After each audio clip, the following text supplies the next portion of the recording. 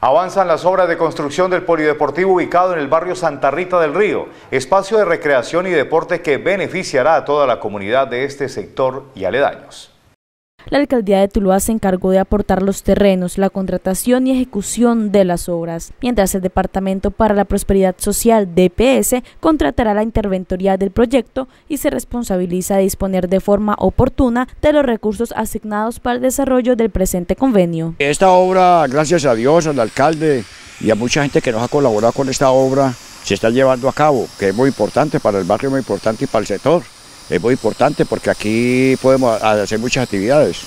Ese será un espacio propicio para diversas actividades. Tanto el deporte como pedirle el favor a la doctora Colonia de la Casa de Cultura para que vengan a hacer eventos de culturales, reuniones familiares. Bueno, el, el coliseo nos va a quedar, como ustedes mismos pueden ver, una berraquera.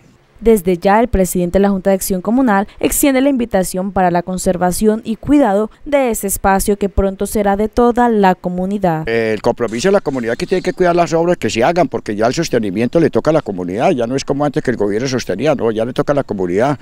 El alcalde, yo creo que esto está para, yo, le, yo pongo más o menos mayo, junio, antesito de la feria, y Dios quiere y la Virgen ya, ya tenemos aquí el coliseo hecho.